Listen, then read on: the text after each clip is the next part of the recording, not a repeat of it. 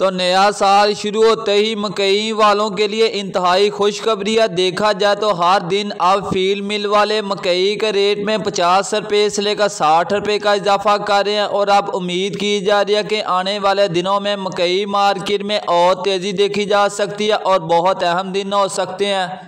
बिसमीम अल्लाम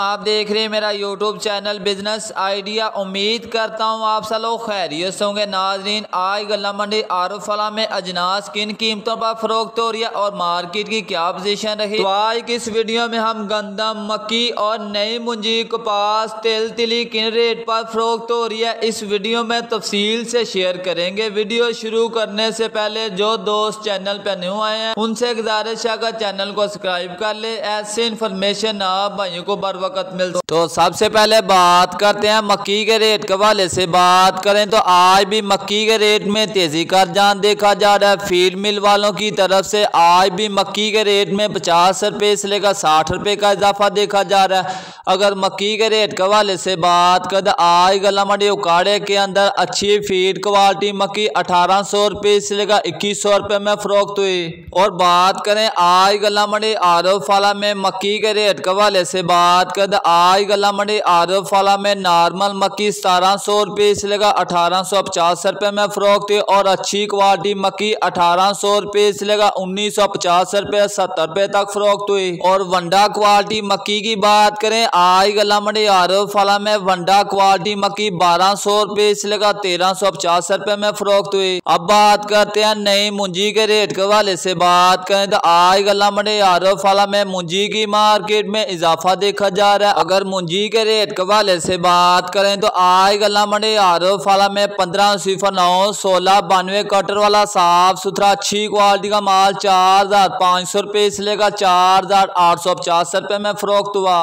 और पंद्रह सिफर नौ, सोलह बानवे हाथ वाला साफ़ सुथरा वीआईपी अच्छी क्वालिटी का माल, आज गला मंडी आरोप वाला में चार हज़ार नौ सौ रुपये से लेकर पाँच हज़ार दो सौ पचास रुपये में फरोख्त हुआ। और कायनात ग्यारह इक्की के रेट के वाले से बात कर, आज गला मंडी आरोप वाला में कायनात ग्यारह इक्की कटर वाला साफ़ सुथरा, अच्छी क्वालिटी का माल, चार हज़ार सात सौ रुपये से लेकर पाँच हज़ार रुपये में फरोख्त हुआ।